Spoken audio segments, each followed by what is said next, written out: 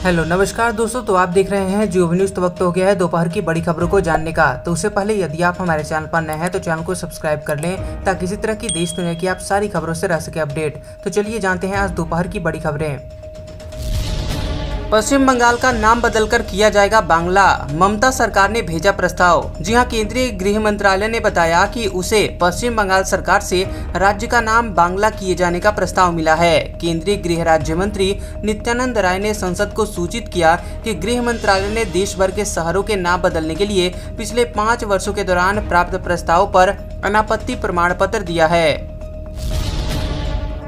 MSP panel में शामिल नहीं होगा संयुक्त किसान मोर्चा, केंद्र सरकार पर लगाए ये आरोप। जी हाँ, केंद्र की मोदी सरकार द्वारा फ़सलों के न्यूनतम समर्थन मूल्य को प्रभावी बनाने समेत खेती से जुड़े हुए अन्य विषयों को लेकर बनाई गई कमेटी से असंतुष्ट संयुक्त किसान मोर्चा ने कमेटी का बहिष्कार करने का ऐलान कर दिया है। किसान मोर्चा ने साफ़ कर दिया है की उसके प्रतिनिधि एमएसपी कमेटी में शामिल नहीं होंगे। पंजाब में एक अगस्त से सभी यात्री वाहनों में व्हीकल लोकेशन ट्रैकिंग सिस्टम होगा शुरू। जी हाँ, पंजाब सरकार ने एक अगस्त से सभी यात्री सेवा वाहनों में vehicle location tracking device system शुरू करने का फैसला किया है। यह कदम राज्य में सभी वाहनों की प्रभावी निगरानी सुनिश्चित करने के लिए है।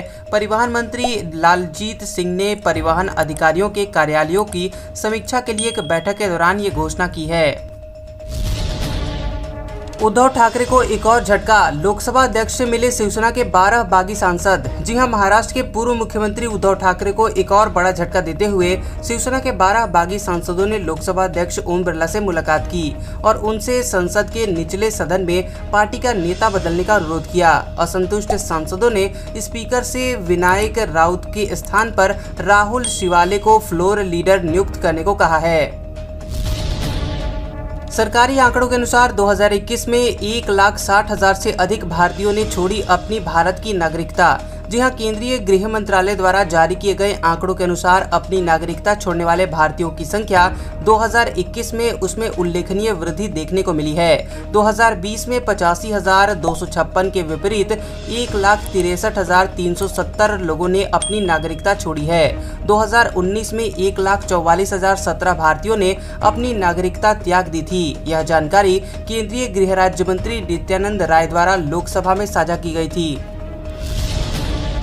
सरकार ने डीजल पेट्रोल पर से घटाया टैक्स, सीधे इतने रुपए की हुई कटौती। जी हाँ, भारत ने तेल उत्पादकों और रिफाइनर पर एक अप्रत्याशित कर में कटौती की और पेट्रोल को निर्यात लेवी से छूट दी, क्योंकि अंतर्राष्ट्रीय दरों में गिरावट आई है। इन बदलाव से Reliance Industries, oil and natural gas corp और ऑयल इंडिया लिमिटेड जैसी कंपनियों को मदद मिलेगी। सरकार ने कहा कि उसने पेट्रोल पर छह रुपए प्रति लीटर के निर्यात कर को खत्म कर दिया है।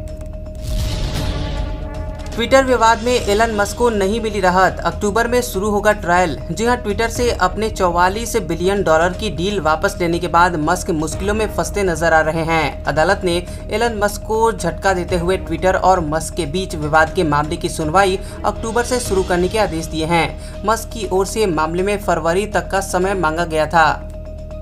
कैसा लगा ये वीडियो हमें कमेंट सेक्शन में ज़रूर बताएँ। वीडियो पसंद आया हो तो वीडियो को लाइक और शेयर करें और ऐसी इंटरेस्टिंग वीडियोस देखने के लिए हमारे चैनल जियो न्यूज़ को सब्सक्राइब करें और बेल आइकॉन को दबाएँ।